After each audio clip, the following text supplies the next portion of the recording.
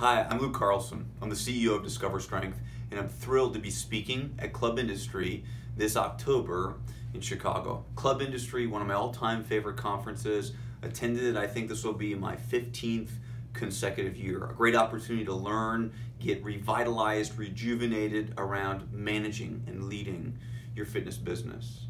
Now, I'm going to speak Friday morning on the topic of financial management from a leadership perspective. So I'm not going to talk about finance for accountants or for controllers and CFOs.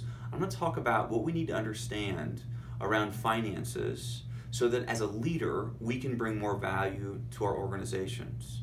So if you're a leader that's a non-financial leader in our industry, I encourage you to attend my session on Friday. We're going to talk about theory, but I'm going to leave you with tools that you can build into your departments and into your club to drive ultimately better bottom line results. See you in Chicago.